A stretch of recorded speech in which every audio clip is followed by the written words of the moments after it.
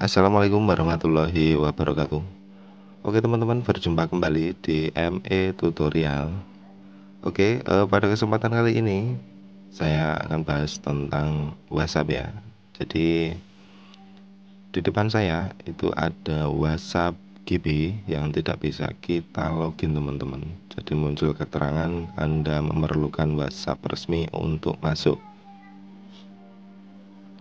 Oke, jadi di sini uh, saya akan coba tetap menggunakan WAGB supaya tetap bisa kita gunakan ya. Untuk langkah pertama, teman-teman bisa masuk ke setelan terlebih dahulu, kemudian masuk ke menu aplikasi, lalu pilih manajemen aplikasi atau kelola aplikasi, teman-teman, sesuai dengan uh, merek dan tipe HP-nya. Kita cari GB WhatsApp ya.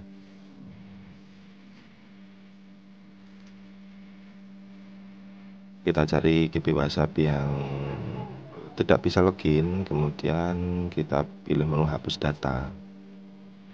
Setelah kita hapus data kita pilih menu uninstall teman-teman ataupun copot pemasangan. Di sini saya akan ganti menggunakan GBWA anti banned ya. Jadi eh, sebelum kita install GBWA anti banned teman-teman masuk dulu ke file manager cari di folder Android jika terdapat com.whatsapp teman-teman hapus saja. Atau di folder uh, internal jika terdapat folder WhatsApp teman-teman bisa hapus. Karena di sini sudah tidak ada ya mungkin uh, ikut terhapus pada saat uninstall aplikasi tadi. Kita bisa uh, langsung reboot HP-nya ataupun kita mulai ulang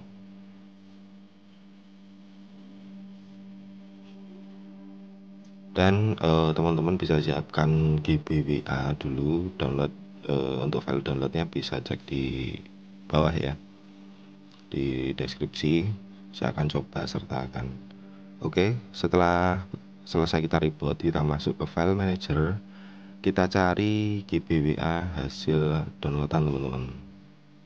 Jadi kita ganti ya untuk GBWA nya oke di sini kita pilih kemudian kita klik install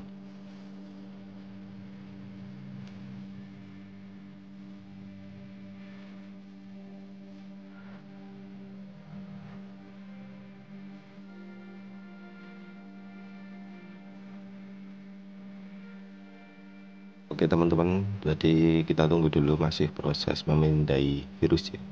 Buat yang mengalami uh, diblokir ataupun tidak bisa terinstall teman-teman bisa matikan dulu uh, Google Play Protect-nya Oke di sini uh, sudah berhasil kita install untuk GB WhatsApp. Kita coba uh, loginkan kembali ataupun kita daftarkan kembali.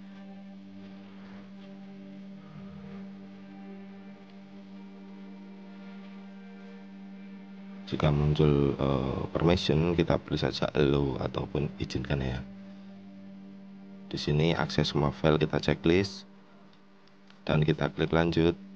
Di sini kita pilih setuju dan lanjutkan seperti biasa ya. Kita masukkan plus 62 sudah ya untuk 0 tinggal 8 ke belakang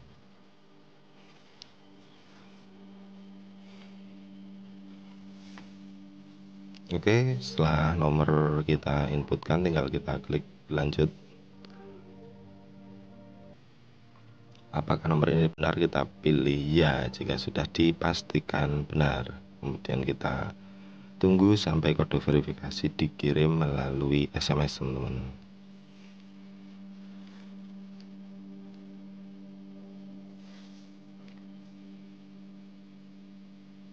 Oke, dan di sini proses memverifikasi ya. Jadi eh, notifikasi Anda memerlukan WhatsApp resmi untuk masuk sudah tidak muncul lagi. Jadi kita sudah bisa gunakan GB WhatsApp.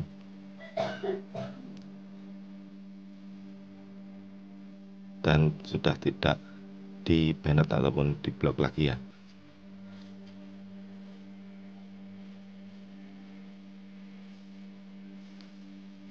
Oke, dan sampai di sini uh, sudah berhasil login, sudah bisa kita gunakan. dan buat teman-teman yang masih mengalami ataupun muncul notifikasi Anda memerlukan WhatsApp resmi, teman-teman bisa gunakan nomor yang baru. Jadi mungkin sudah diblok secara permanen ya atau tunggu waktu mungkin 1 sampai 2 bulan baru baru kita gunakan GB WhatsApp kembali jika masih ingin menggunakan nomor yang sama.